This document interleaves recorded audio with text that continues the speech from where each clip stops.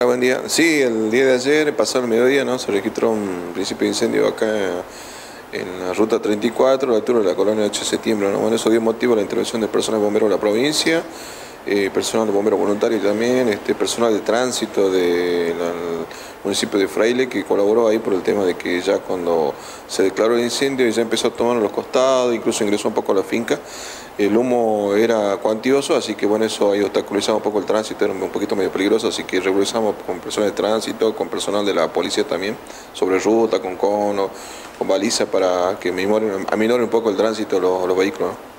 ¿Qué tipo de daños se reportaron? ¿Hay personas lesionadas? Eh, bueno, gracias a Dios, personas lesionadas no. Eh, daños, eh, bueno, se quemaron más que nada pastizales y algunos postes de luz, que bueno, eso dio motivo que intervenga GESA también.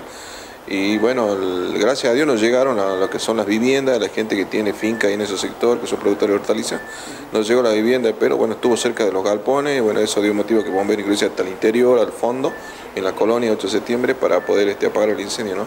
Nuevamente, a la noche eh, volvieron a llamar, tuvo que ir bombero de nuevo, porque las temperaturas y el viento que hubo las noches, bueno, ahí se produjo otro foco de incendio y bueno, lo sofocaron, gracias a Dios.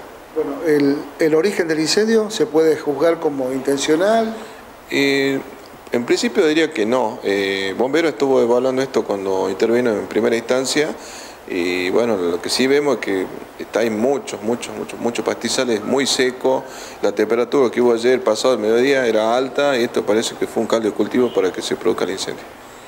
la policía también atendiendo otras cuestiones, controles de tránsito, controles vehiculares el fin de semana? Sí, sí, ya durante la semana tuvimos unas reuniones con el municipio local de acordar este, hacer el foro conjunto, con, con, tránsito, ¿no? Para hacer control de motovehículos más que nada. Y después lo que es este, el tema de sábado y, viernes por la noche, que es el operativo de los bailes, eh, lo hacemos con bromatología para acompañar ahí para el control de locales comerciales. ¿Infracciones de qué tipo detenidos? Sí, en el tema de motovehículos la mayoría de las infracciones son este, por no llevar el casco. Eso son lo que eh, abunda. Eh, después, bueno, solo menos por el tema de la documentación los vehículos, que ya ahí sí le retenemos el, rodado para, para, ver si son o no los propietarios legítimos. Muchas veces nos damos con la sorpresa de que son rodados sustraídos.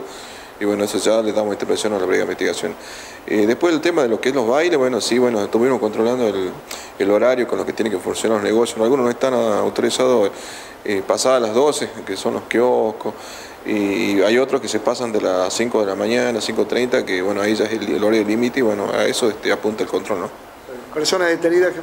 Sí, hubo, hubo algunos arrestados y bueno, por algunos hechos menores, ¿no? Este, que pasaron, se les pidieron los antecedentes y bueno, después recuperaron la libertad.